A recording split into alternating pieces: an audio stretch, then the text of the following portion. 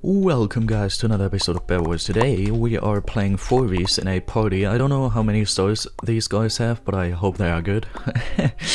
um, and also I hope I myself am good, because I haven't played in a while. And um, it's my first game of the day. And I just realized I have to finish a really really big school project till tomorrow. So, I should do that too. I just wanted to save the present, but um, I guess I have to follow this man.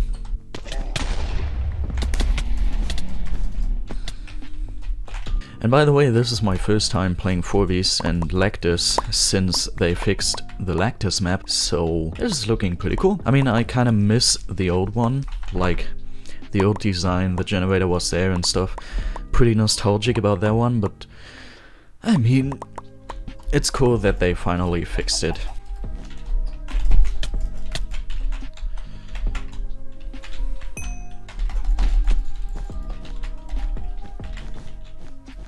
He's smart. Why is he smart? No. Why would he be smart?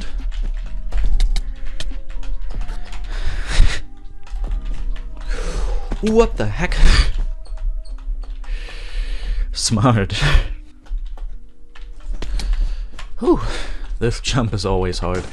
Oh, he, he lagged out, I guess, because he actually didn't take any knockback. Or he was stuck in a block or something. Well, GG.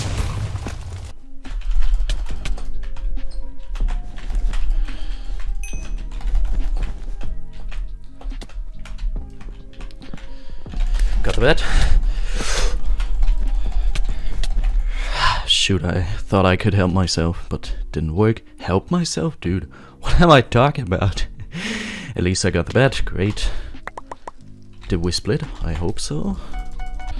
Save myself, yeah. I wanted to say save myself. And I said help myself. Okay. Trust me, I know the English language. Holy heck. I'm gonna half forward. Half forward. And he didn't take... Mm -hmm, he didn't take fall damage. Of course. I mean, he didn't take knockback. Not fall damage.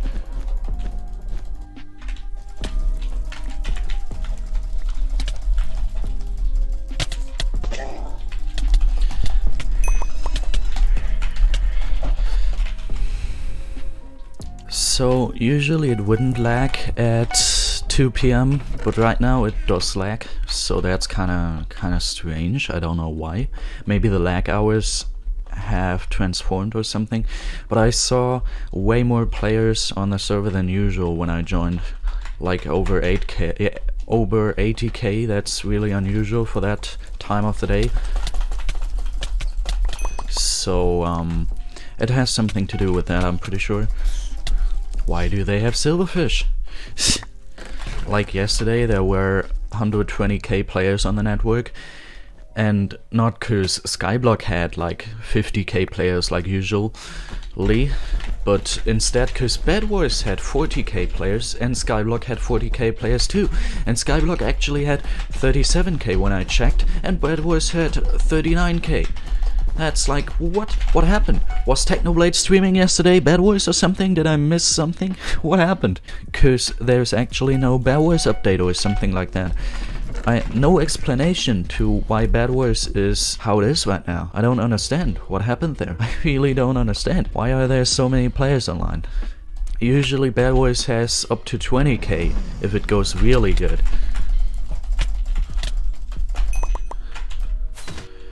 Anyways, GG.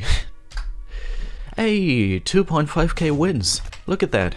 2.5k. That's looking great. Ooh. Ah yes, my teammates are just AFK here and waiting for a bed to get destroyed or something. One thing that I could do while clutching is I could... I could talk about... Oh no, I'm gonna be dead here. No, I'm actually still alive, great. I could talk about my work that I have to do for school. Because as I just said, I just remembered that I gotta do something for school. That's because we have these practical biology and practical chemistry classes where we basically do chemistry and biology just in a practical way. We don't talk about it too much in the theoretical way, but instead we're just... Oh my goodness, should I... Mm, but instead we're just...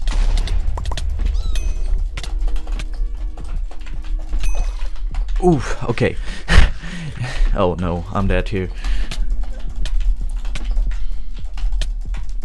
Or not, okay. Uh, but instead, we're just doing the stuff, like making experiment, making experiments with bacteria and stuff like that.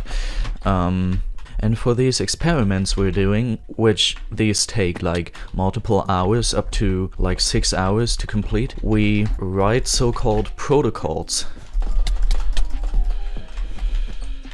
And these protocols take up to 20 hours of work. And we have to do one for every freaking experiment we do, which is once a week. So that's a massive load of work, you know? And um, before the lockdown started again, our teacher was like, okay class, um, you know, this is our last experiment before lockdown. So what we're gonna do is, you can do another protocol due to the holidays. That's gonna be great, trust me. What the heck? What? I'm confused. I'm pretty sure he was really far away and behind glass. So, did he hit me through glass from like 5 blocks away or something? What the heck?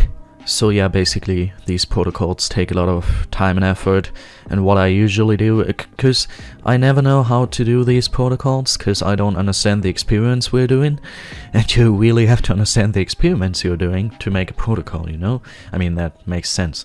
And I never understand the experiments we're doing there, so basically what my strategy is, I just go to someone in my class that understood the experiment, and I'm like, you know, I just did the protocol, but I really invested much time in that, so I really want to know if it's like, if I did everything right. So could you send me your protocols so I can like take a look at our protocols and see if I did everything correctly? And they are like, okay, here, take my protocol. And I'm just blatantly copying everything. So that's usually how that goes.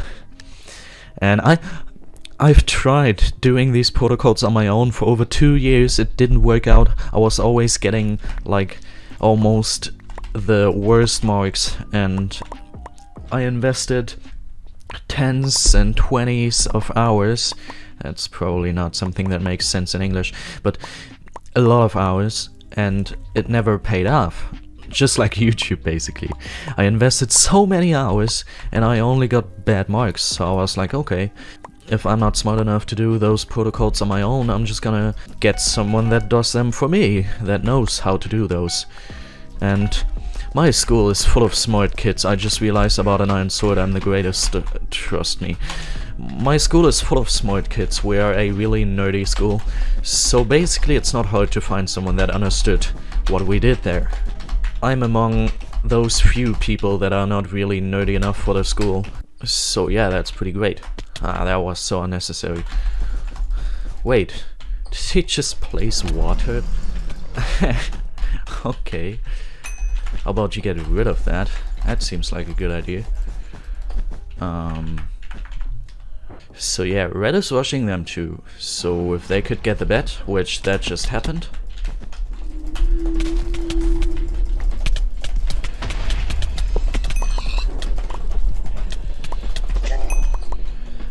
got two.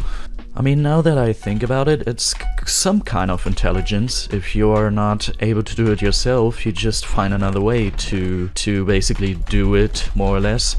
So, I mean, it's not dumb. I get those grades out of my own ideas, basically. My, my idea was to steal the protocol from someone else, and that idea is giving me good, good marks, basically. That's how it works. It's not too stupid. I think what I need to get the red bat, it's not gonna be necessary because my teammates are probably able to get it before I even get there, but I'm gonna get a tier something pickaxe and um, I'm just gonna fireball jump in there. Okay, as I said, it's not necessary anymore. What? He's getting the heck out of there. Nope, you're dead. No escape, only death.